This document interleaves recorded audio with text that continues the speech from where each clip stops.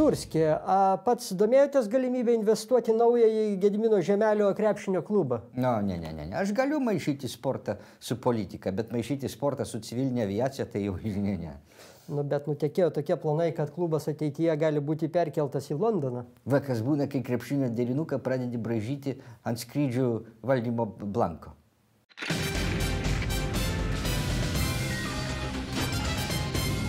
Lietuvos krepšinėje noksta didelės naujienos.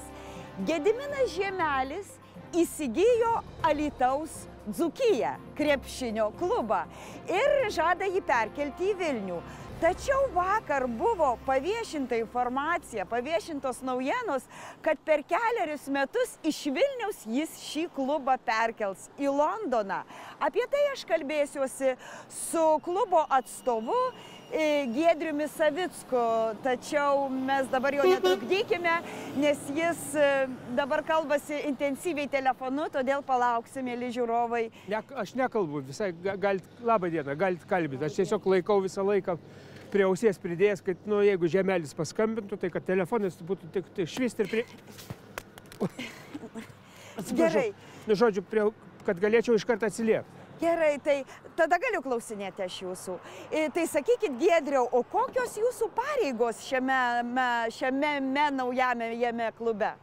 Aš, e, aš esu, matot, ne, e, ne sporto direktorius. Yra, pas mus taip yra atskirai žmogus, kuris yra sporto direktorius, o aš atsakingas už, nu, už visus kitus klausimus, kurie nėra sportas.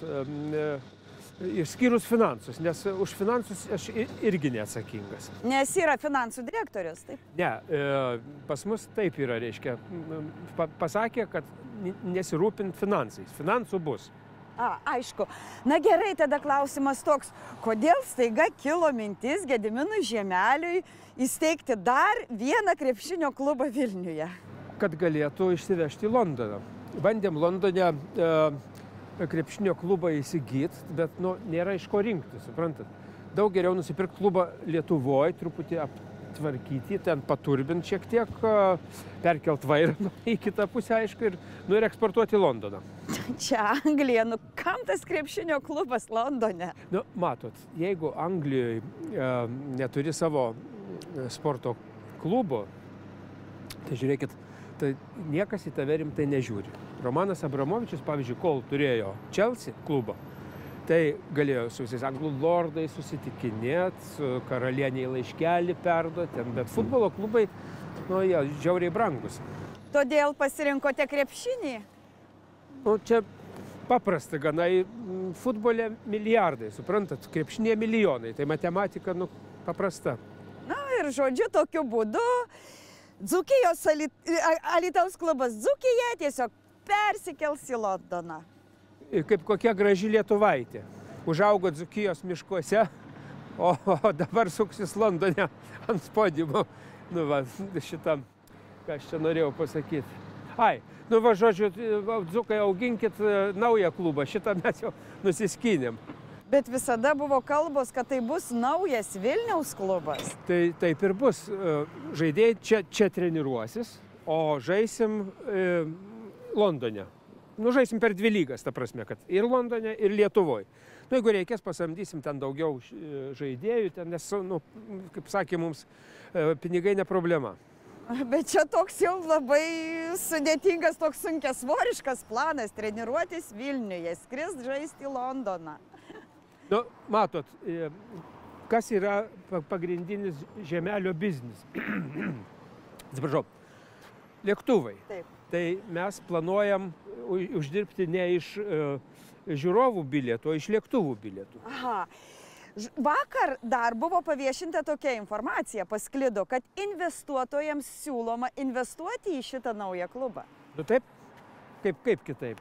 Kas, kas daro verslą nuo savais pinigais. Nu, bet aš, žinot, aš labai tikiu šito projektu, nes pas mus, nu, žiauriai stipri komanda ir surinkta dar tiesa girdėjau, kad e, net Ušackas prisidės. Jo darbas bus e, susi, susižais su e, politikais Ivanovais, biurokratais Petrovais ir turistais Bašyrovais. Klubo prezidentu paskelbtas nuostabus krepšininkas ir šiaip jau puikus žmogus Rimantas Kaukienas. Taip, reikia, kad organizacijoje būtų, reiškia, bent vienas uh, nusimanantis krepšį žmogus ir, ir bent vienas padorus žmogus. Tai, tai pas mus bus, tai, tie abu du žmonės bus Rimantas Kaukienas. Rašoma, kad šitas klubas turi tokią ambiciją jau po keliarių metų žaisti Eurolygoje. Nu, e, matot, kai dirbi e, su lėktuvais, tai turi mokėti aukštai kilt ir minkštai nusileisti. Tai mes esam dabar tam pirmam, pirmam etape. E, dar yra paviešinta apie naują jūsų klubo pavadinimą. Jūs bandot užregistruoti pavadinimą Vilniaus klubas visi Lietuvos rytas. Bet atsiprašau, Vilniuje jau yra krepšinio klubas rytas. Nu ir kas? Žiūrėkit, metuose yra 365 rytai. Nu ir, ir niekas ten nesusimaišo. Tai jau gal Vilniui nesusimaišys du, du rytai. Bet to nu, nu, mūsų savininkui kažkaip nu, patinka rytai. Ir ką? Nu, sportė žodžiu, čia nieko naujo. Ką apie ką jūs čia, kas nieko naujo? Viskas nieko naujo. Nu, pasižiūrėkit, sportė, kiek yra Spartakų, Lokomotyvų, CSK, nu ir žiūrėkit, tas pats Žalgiris gali kiek daug reikšti. Nu, e, krepšinio klubą vienas. E, du futbolo klubus, du e, mūšį, pavardė 3-4, nu, vietovė Lenkijoje 5 dar galima prigalvoti? Trauktinė. Ai, nesvarbu, kad jau užsiminėte apie žalgerį, kai kas jau lygina žiemelį su Vladimiru Romanovu, kuris buvo Kauno žalgerio savininku. Nu, baigit, nieko, nieko čia bendro, ne, ne, negalim, negalim lyginti. Žiūrėkit, Romanovas domėjosi povandeniniais laivais, o žemelis lėktuvais, tai čia visai kita fizika. Kvietime investuoti buvo paminėta, kad projektas veiks net septyniose šalyse, tarp kurių Baltarusija, Filipinai, Islandija. Visur, kur yra mūsų lėktuvai.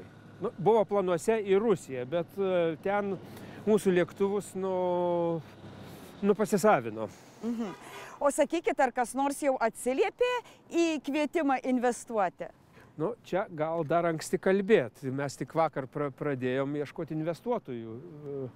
Va, Tapinas čia kažkaip jau išreklamavo tą mūsų projektą, tai galima manyti, kad nu, daug žmonių paskaitys, kas nors gal žinai ir susidomės. Žinot, būtų Vilniuje dabar jau neįmanoma nusipirkti, bet krepšinio klubą tai įmanoma, tai skubėkit, kas norit. Tai, na gal Tai gal ir baigime pokalbį.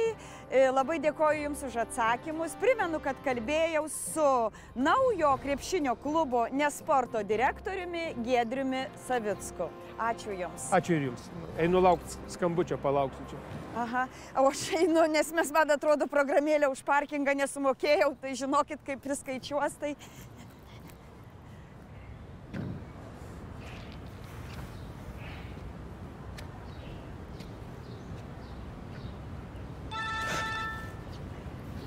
Alô?